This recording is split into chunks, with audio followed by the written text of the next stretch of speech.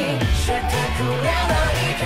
Hola, soy Bash, yo hola amigos, bienvenidos una vez más a nuestro canal. Y bueno, el día de hoy, como ya es costumbre en el canal, les traigo un nuevo video de Jujutsu Kaisen. En esta ocasión estaremos hablando de temas muy interesantes. En primera instancia, de la situación actual que se está viviendo contra Sukuna, quienes todavía quedan en pie para pelear contra él y quienes podrían regresar en un futuro. Además de traerles también una de las teorías más interesantes que se generó en el directo pasado. Así es, estoy hablando de la teoría del panda infinito. Pero bueno, ya estaremos platicando y analizando toda esta situación. Así que sin nada más por añadir, comencemos de una vez. Y bueno, como mencioné, hago este video para establecer la situación en la que el manga se encuentra actualmente, ya que Sukuna ha ido enfrentando a diferentes adversarios y uno a uno han ido cayendo, por lo que las cosas comienzan a complicarse de una manera espectacular, sobre todo después de la confirmación de Uraume de que Sukuna aún no da todo de sí, por lo que sin duda alguna parece ser que las cosas están completamente perdidas. Y bueno, hay que tomar en cuenta que actualmente Actualmente Maki es la única que se encuentra frente a Sukuna y que al parecer tuvo la capacidad de esquivar el famoso corte que corta el mundo. Lamentablemente parece ser que esto no será suficiente para derrotar a Sukuna, aunque eso sí también hay que tomar en cuenta que Itadori, Shoso, Kusakabe e Inos se encuentran también en el campo de batalla y van a regresar en cualquier momento para apoyar a Maki en su pelea, aunque honestamente esos refuerzos no parecen la gran cosa, pero de cualquier manera algo tendrán que hacer para derrotar a un Sukuna que ahora sí parece que va a pelear en serio. Y es por eso que al ver que en el campo de batalla no parece haber suficiente gente para derrotar a Sukuna, comenzamos a observar qué es lo que tenemos alrededor y quién podría llegar para ayudar. De primera instancia hay que recordar que también hay una batalla paralela que es precisamente la de Hakari contra Uraume, y sería clave que Hakari obtuviera la victoria para después pasarse a la pelea contra Sukuna. Sin duda alguna Hakari podría ser un refuerzo increíble, aunque si me lo preguntan a mí veo más probable que Uraume obtenga la victoria y a final de cuentas se convierta en refuerzo para Sukuna, ya que una teoría que surgió que me encantó es que Uraume de alguna manera pueda transformarse en la lanza de Sukuna y desprender una especie de poder de hielo. Creo que eso sería increíble. Pero bueno, ahora sí, una vez que tenemos claro el campo de batalla actual, vamos a hablar de los posibles regresos, ya que sí, una de las estrategias más increíbles que hemos visto en el shonen es que precisamente Ui Ui junto a Kirara están teletransportando a todos los heridos para recuperarlos y que así en un futuro puedan regresar, lo cual me parece sencillamente perfecto, ya que sin duda alguna es hacer algo de trampa, pero si se puede hacer, pues hay que hacerlo. Y bueno, hablando precisamente de los caídos, en primera instancia tenemos a Kashimo, el cual la verdad es que las posibilidades de que haya sobrevivido después del ataque de Sukuna son prácticamente nulas, ya que a él sí lo hicieron pedacitos, aunque algo que debo reconocer es que Kashimo fue de los pocos que realmente pudo esquivar el corte que corta el mundo, así que bueno, tal vez haya alguna esperanza para él, tal vez alguna parte importante de su cuerpo sobrevivió, pero honestamente a Kashimo sí lo veo completamente perdido. Por otro lado, un personaje que podría regresar en cualquier momento, ya que a mi parecer se encuentra en muy buena condición, es el mismísimo Takaba. Obviamente hay que tomar en cuenta que posiblemente se encuentre muy agotado después de su batalla con Kenyaku, pero realmente físicamente no parece haber recibido ningún daño, por lo que solo necesitaría un poco de energía maldita y descanso para regresar al combate. La verdad es que Takaba podría ser un recurso realmente impresionante para enfrentar a Sukuna, ya que me encantaría ver cómo es que funciona la técnica de Takaba en contra de un hechicero como Sukuna. Supongo que Sukuna, como ya es clásico, tendrá alguna técnica secreta de la era Heian con la cual pueda enfrentar y derrotar a Takaba, pero de cualquier forma me gustaría ver qué es lo que sucede con ese enfrentamiento. Por otro lado, ahora hablando de los hechiceros que cayeron directamente con Sukuna, pues tenemos al propio Higuruma, que una de las cuestiones más importantes para tener esperanza es que directamente vimos como Ui Ui lo transportó prácticamente al instante después de recibir el corte de su cuna, además de que él parecía que no había sido partido a la mitad después del ataque mortal, por lo que creo que es uno de los hechiceros que podría estar en mejores condiciones después de su ataque, aunque también hay que recordar que su técnica maldita se desactivó, es decir la espada del verdugo, después de que recibió el ataque, es decir el juez dejó de tener efecto, por lo que esto también podría implicar de alguna manera la muerte de Higuruma. Esto lo digo porque tenemos un ejemplo como el de Yuta, el cual prácticamente podríamos confirmar que está vivo debido a que Rika todavía seguía en pie, pero como dije en el caso de Higuruma, el juez parece que ya ha caído definitivamente. De cualquier forma, sin duda alguna, Higuruma es un personaje con un potencial realmente impresionante, que se llegó a comparar en genialidad con el propio Satoru Gojo, además de que la espada del verdugo junto al juez parece que todavía podían hacer algo más, y sin duda alguna la espada del verdugo podría haber sido un arma excepcional para derrotar a Sukuna, tomando en cuenta que esa espada sí era insta-kill, por lo que podría ser muy útil para derrotar a Sukuna e incluso salvar a Megumi, todo de un solo golpe. Sin duda alguna habría sido muy interesante ver el accionar de esa espada, aunque una vez más tomando en cuenta que esa espada atacaría a Sukuna, la verdad es que yo creo que de una u otra forma Sukuna podría salvarse. De cualquier manera, como mencioné, me encantaría ver a Higuruma en acción una vez más. Por otro lado, ahora sí pasamos con el mismísimo Yuta, el cual como mencioné antes, gracias a que Rika parece seguir activa, pues puedo suponer que Yuta también está vivo, obviamente muy herido, además de que también se nos confirmó que la desactivación de su dominio fue más por cuenta propia que porque realmente él la haya perdido, algo que sin duda alguna nos da más indicios de su recuperación, ya que también algo que debemos mencionar es que el potencial de Yuta todavía era demasiado grande, es decir, tal vez no nos mostró todas las técnicas que había copiado, se quedó en incógnita el hecho de que pudiera utilizar el infinito, además de que nunca pudimos ver a Rika despertada, ya que sí el efecto de Rika máxima potencia con esos 5 minutos creo que pudo haber sido algo extremadamente interesante. Por último hay que recordar ese voto vinculante que en alguna ocasión Yuta hizo con Rika, por lo que yo creo que el potencial del amor que podrían tener estos dos juntos todavía tenía mucho por dar, y honestamente este es de los personajes que más creo que tiene posibilidades de regresar, sumándole a todo esto que a mi parecer el corte de Sukuna lanzado hacia Yuta es de los más débiles que había lanzado, tomando en cuenta la condición en la que Sukuna se encontraba en ese momento, por lo que sí apuesto a que Yuta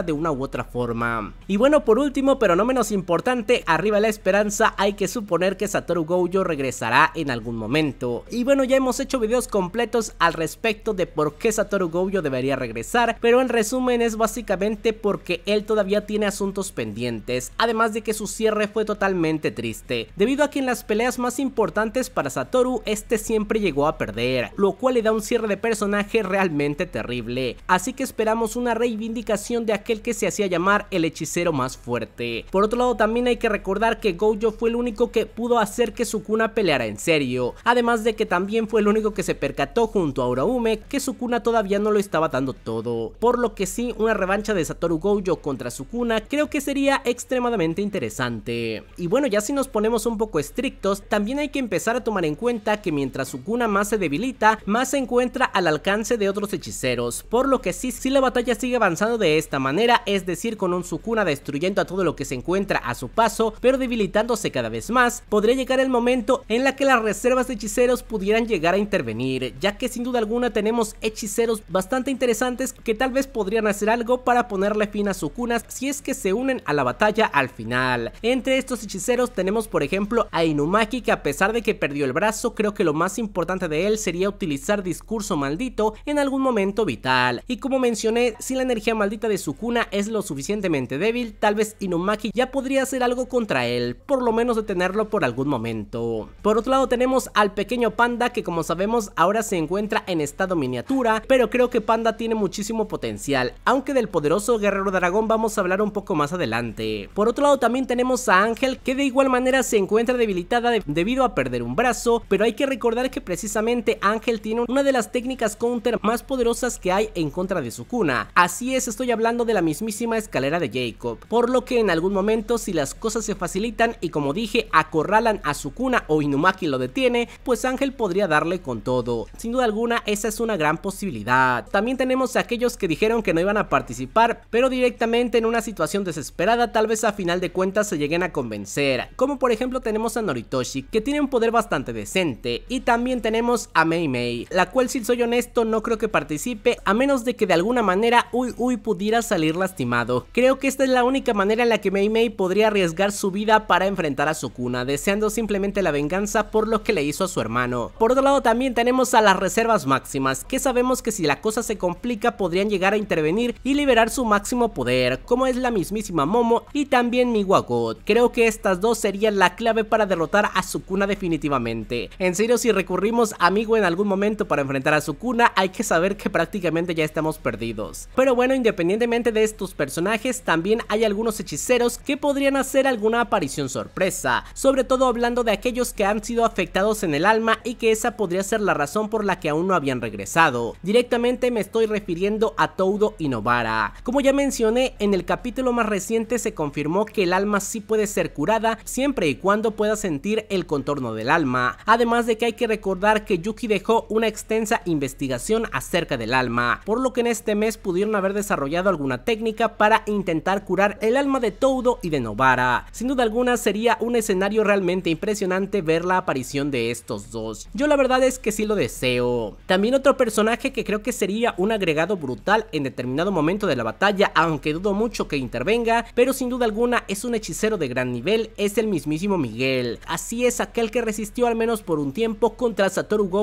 en su mejor momento, así que Miguel no es un hechicero de bajo rango. La verdad es que creo que si llega a apoyar podría ser una intervención realmente impresionante. Pero bueno, a pesar de que en un principio podría parecer que recurrir a todos estos hechiceros sería imposible, hay que recordar cómo es que se comenzará la asimilación con Tengen, eh, y esto es exterminando a todos los jugadores de los juegos del sacrificio, por lo que si esto se va a lograr en algún punto, sin duda alguna la base de los hechiceros también va a ser atacada, ya que ahí hay varios personajes que también son jugadores de los juegos, así que la participación activa de todos ellos no está descartada.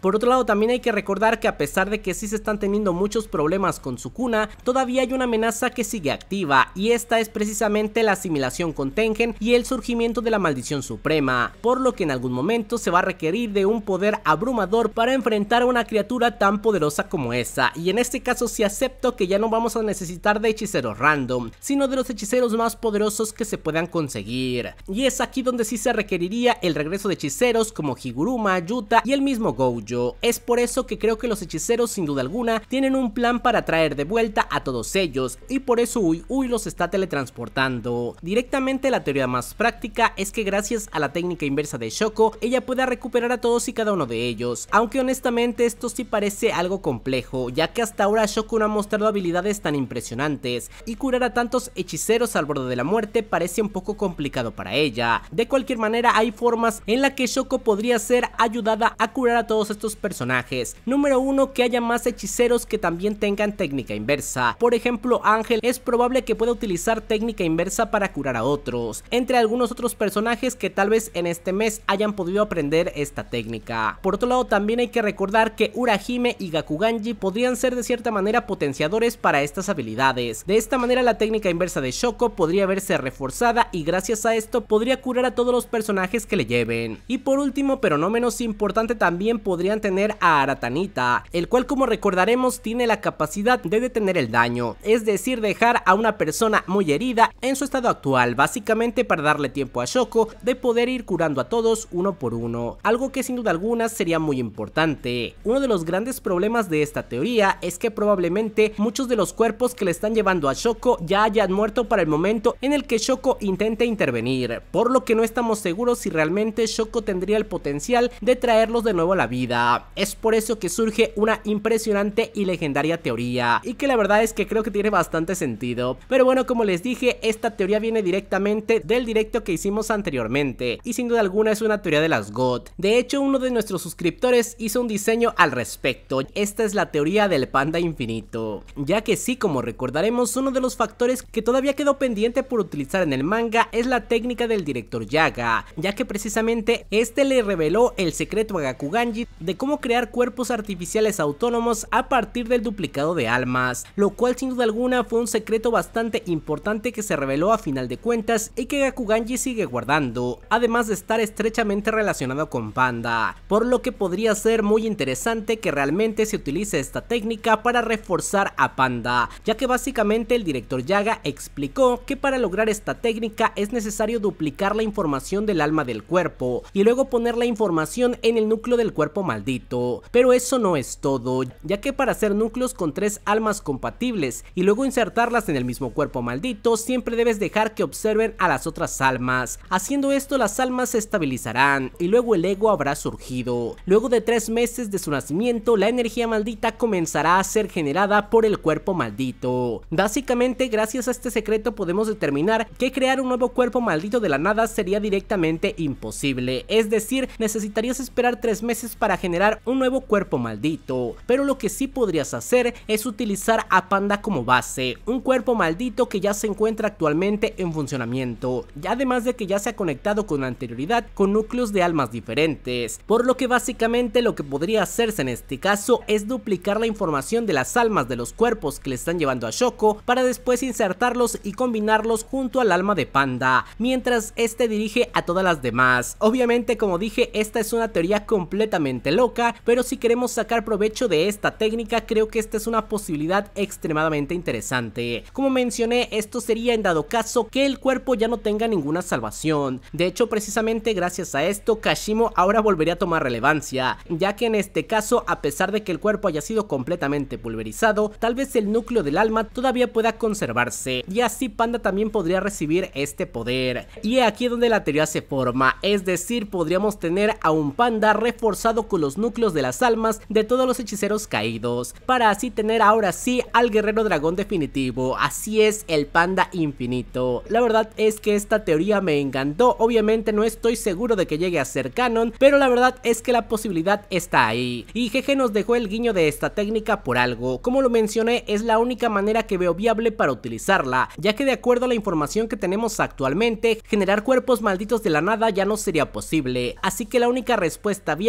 es que Panda absorba los poderes de los hechiceros caídos. ¿Se imaginan ver a un panda con los seis ojos y el infinito, con la espada del verdugo y el juez acompañándolo, y por otro lado el anillo de Yuta junto a Rika, además del poder eléctrico de Kashimo? Obviamente esto sería una completa locura, pero no me pueden negar que sería algo espectacular. De cualquier manera ya con esto me encantaría que me dejen su opinión en los comentarios. En primera instancia si les gustó la teoría del panda infinito, ya que como saben las teorías en nuestros directos son bastante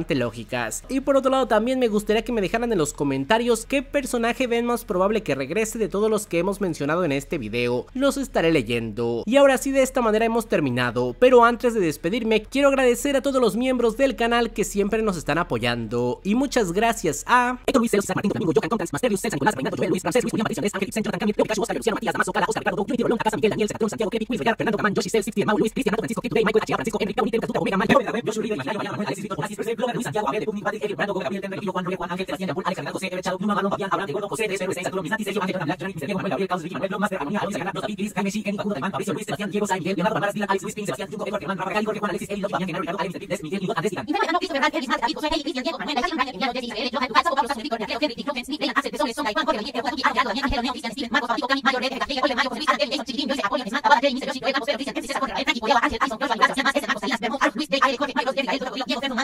Juan, Juan, Saez, Rubén, Mister, Ángel, López, Luis Walter, Arturo Héctor López, Pepe, Noticias, Fabio, César, Antonio, José, Néstor, Ramírez, Sergio, Jorge, Ángel, Poli, Julia, Arlaido, Coba, Tobias, Jorge, Ariel, Obama, Pro, Abraham, Berrigo, Helix, Abdana, Steve, Junior, Adriana, Diego, Sergio, Orián, Edwin, Alex, Carlos, Karen, Bernardo, Edwin, Renato, José, Cristian, Simé, Diego, Carlos, Jesús, Juan, Eric, Carlos, Johnny, Félix, Carlos, Abraham, Julián, José, Silver, Rock, Max, Demon, Pablo, Carlos, Pepe, Matías Flores, Edu, Sabe, Conda, John, Peter, Dave, Juan Manuel, Goyer, Importex, Camilo, Valencia, Bebetes, Iker, Víctor, Luis, Eduardo, Mauricio, Briga, Inge, Eva, Ángel, Ardos, Pablo, Antonio, Jalen, Papitas, Wilmer, Itais, Manuel. Luz Avis, Manuel, Anderson, Rubén, Henry, Steve, Henry, Steve, Carlos, Luis, Alejandro, Carlos, Teso, Mancha, Francisco, Nico, Iván, 5, Frank, Innova, Auca, NX, Yoshi, Punta, López, Leo, Fabricio, Cayo, Eval, Patrick, Wilmer, Carlos, Ayas, Franco, Juan, David, Juan, Sebastián, Carlos, Rey, Alejandro, Alexis, Nene, Jorge, El, Nasser, José, Kevin, Joel, Sebastián, José, Omi, Carlos, Sigaba, Patata, Luta, Frank, Gaza, Rodolfo, Brian, Juan, José, Diego, Guys, Madre, Frank, Roberto, Carlos, José, Enrique, Isaac, Jumbes, Alex, White, Yuta, Long, Gabo, Babel, Brian, José, Naruto, Daniel, Patricio, Cintia, Gisela, Guachín, Goslan, Saúl, Lina, Darío, Rodríguez, Suárez, Felipe, Pablo Chávez, Kenneth, José, Eric, Susana, Borges, Gabo, Brando, Saúl, León, Francisco, Nicolás, Lucas, Diego, Rodríguez, César, César, Jorge, Carlos, Jorge, Coco, Rayo, Leo, César, Carlos, César, Ismael, Persa, José, Julio, John, Díaz, Robert, hasta KZM, Juan, Luis, H. Jesús, Jugador, Alex, Calle, Eric, Rodrigo, Yoshi, Edgar, Alex, Alex, Alex, Carlos, Dan, Francis, Jarín, no sé, Jonathan, Cris, Juan, Almas, César, Axel, Roy, Soy, Leo. Giovanni Santiago, Francisco, Santino, Jorge, Alfonso, Elías, Gonzalo, Alberto, Ronaldo, Luis, Marcelo, Max, Miguel, Miguel, Antonio, Ronaldo, Juan, José, José, Ron, Jesús,